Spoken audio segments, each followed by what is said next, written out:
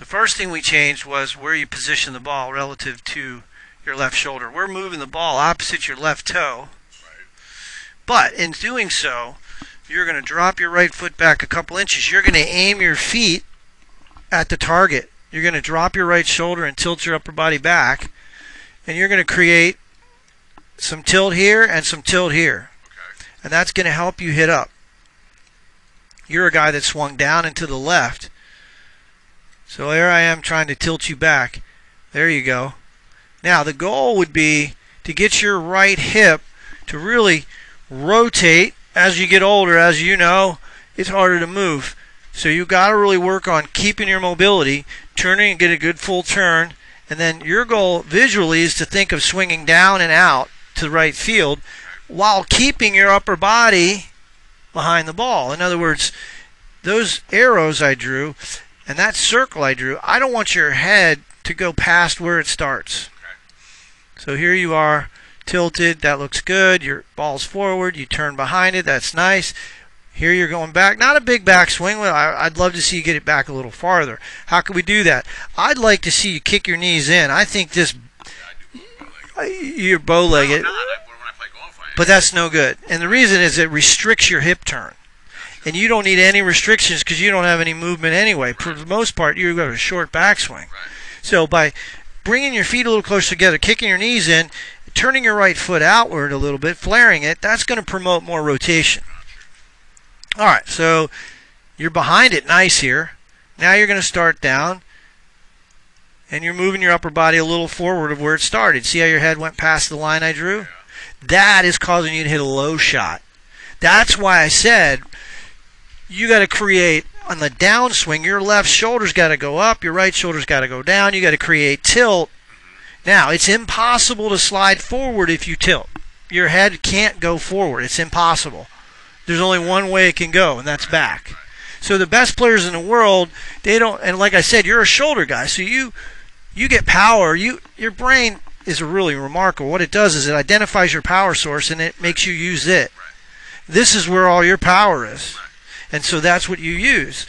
Well, that's okay. I'm not saying don't do it, but you've got to incorporate this idea of tilting, you know. And so when I go, you know, look, I don't like to show amateurs pros because it's not a fair, you know, nobody's a pro. You, eh, I mean, your body, these guys are built, been playing golf since they were six years old. They were hypermobile.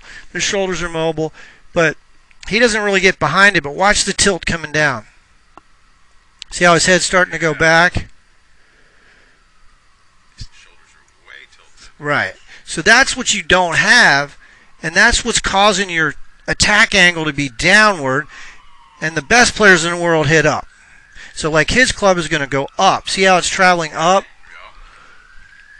So that's what you don't do. Now, when you hit the golf ball, your club, it's going up a little much better than it was, okay? But you could do a lot better if you could get some of that tilt incorporated in your downswing.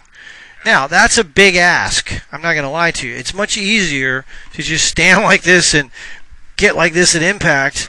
It's a big ask because it puts a lot of compression force on your spine, and it's tough. It's not easy um, to change something that takes three one hundredths of a second. You can't process that much information. It's complex movement. So that's why I say if you can set up to do all of this stuff, then the effect will be, yeah, you're going to hit from the inside and hit up. But I think uh, the best drill for you right here would be to put your forehead. I'll show you this drill. We'll, we'll, we'll imagine this is a door.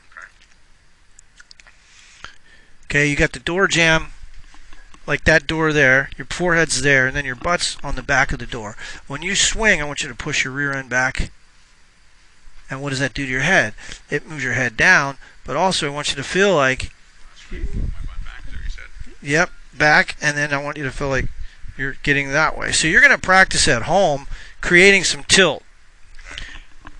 Making your and the reason I put the door in front of you is so you have something to identify, some feedback. So like you can tell if your head's moving. The door's right there in front of you. Door's right here. Door, right. And then turn back, and then as you come down, feel like your head's moving back. That way you can uh, tell, oh yeah, okay, I am moving back at impact. My head is. So you're trying to create some tilt and your butt's the back. You see the back of the door there? Your butt's going to go into the back of that door, and you're going to create some side bend. So you got a combination of tilt, and then you got a combination of hip hinge. Hinge meaning rear end back. So your hips go forward a little bit. But anyway, I'm more interested in just getting you to tilt more. So this little bit of movement forward is why your ball goes so low. So, you know, in a perfect world, we're going to try to fix this today. We're going to try to get you to not move your head past that arrow. Your nose can't go past that. See how it goes forward? But if you could stop that, now you're going to give yourself another 20 yards because you're going to launch it much higher. It's going to carry much further. Your location, yeah, right. Another, right, right. But this is right, and this is a really good ball position for you. We just got to not slide your upper body in front of the ball at impact. We got to create more side bend. All right, and you know, by and large, it doesn't matter who I put up here, pro none of them go forward. The head never goes in front of where it starts. Um, you know, this is an old picture of Rickie Fowler before. He is bow-legged back then, but he doesn't have mobility issues. This guy's got hypermobility. He can turn his body like a contortionist. I mean, if you and I could turn our shoulders like that, we wouldn't. It wouldn't matter how you bow your legs. But see, there's some tilt going back there, and so he's got a lot of. You know, stand behind it, and you can obviously see his shoulders are tilted back. And the ladies do it even more because they don't have the power, so they really have to tilt and hit up. They hit up like four or five degrees. All right, let's hit.